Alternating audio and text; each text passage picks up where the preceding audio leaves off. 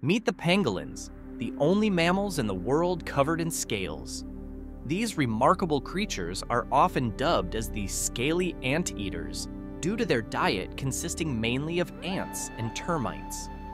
Pangolins are built for digging with their strong claws, perfect for tearing into termite mounds and ant nests.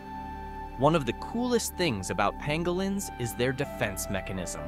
When threatened, they roll up into a tight ball, resembling a tough, armored globe. This trick not only protects them from predators, but also gives them their other nickname, the artichoke on legs. These solitary creatures are mostly nocturnal, preferring to do their foraging and digging under the cover of darkness.